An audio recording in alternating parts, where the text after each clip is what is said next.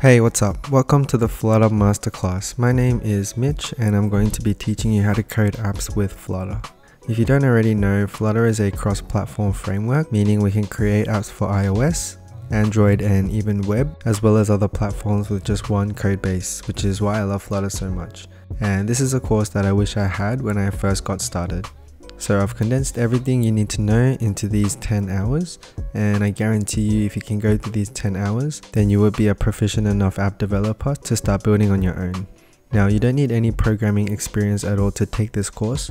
You can be a complete beginner as this course will start from the very beginning going through the very basics of programming fundamentals before jumping into Flutter itself.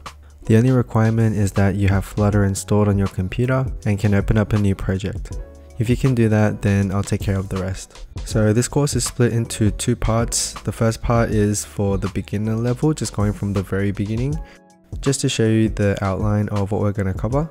We're just going to firstly start with the programming fundamentals and then everything in Flutter is a widget. So we'll start to learn about the different widgets in Flutter and then I'll show you how to navigate between different screens. And then we have a very important idea of the stateless versus stateful widget Next, we'll look at how to get the user's input and then we'll put all this together to create our first app, which is the to-do app.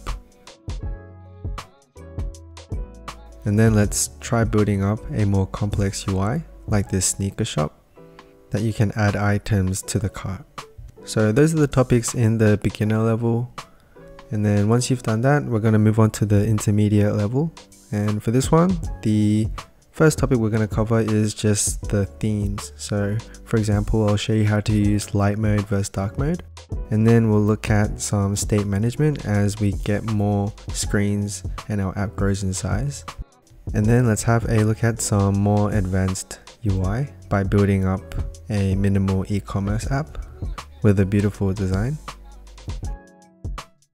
And then we have to update our programming concepts and understand null safety then we're going to start looking at storing our data in the database. So we'll start off with the offline database, meaning like in the device's local storage. So to demonstrate storing the database offline in the local storage, we'll create a simple notes app as well as a habit tracker.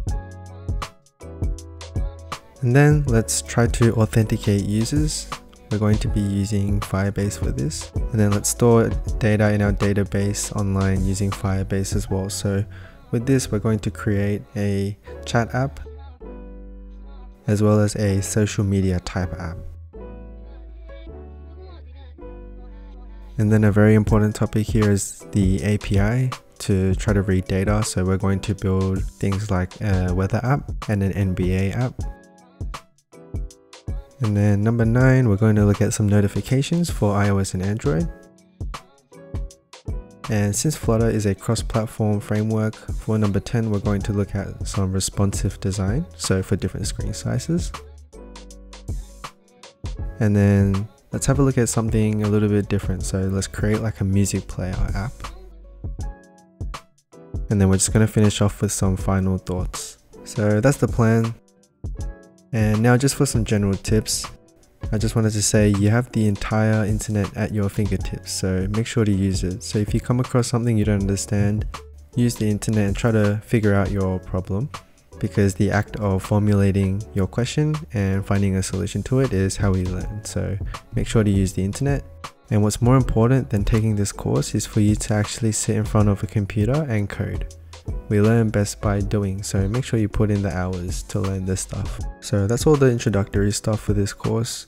I'm sure if you apply yourself, you'll get a lot of value from this course, and I hope you come out the other end a really good Flutter developer. So good luck, and we'll begin from the very beginning.